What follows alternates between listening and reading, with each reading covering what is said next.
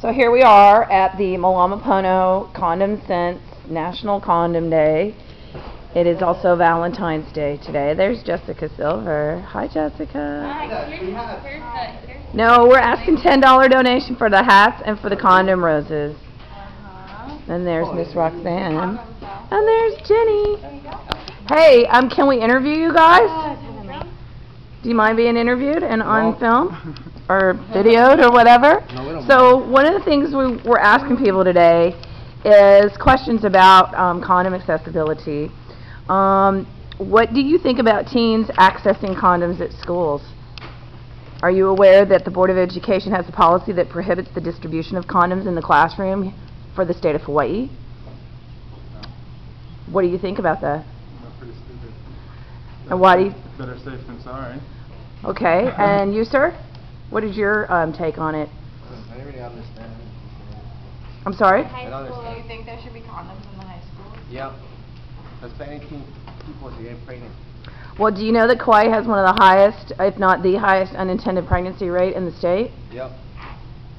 So, um, we are also the 17th highest pregnancy rate in the nation, and we're number six overall in the nation for chlamydia for the state of Hawaii. So, you know, yeah, hmm And so, with condoms being accessible to teens, a lot of this would be, you know, if they use them correctly and consistently, would be a moot point, really. But um, if there's not distribution in the in um, the schools, then the kids can't get them. Although we have free um, condoms today for National Condom Day. It's also National Condom Week until four, the 14th through the 21st.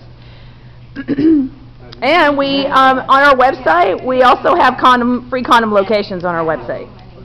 I'm Jessica. This is Jessica. That's Nick. He's Yeah, absolutely. A he's, uh, Kavika. So, yes, they're free, and we have like, we have, um, paper bags too, you can put them in. Yeah, yeah. That way, you know, oh, there was my hand. Hi, Nick. Well, thanks you guys for stopping by.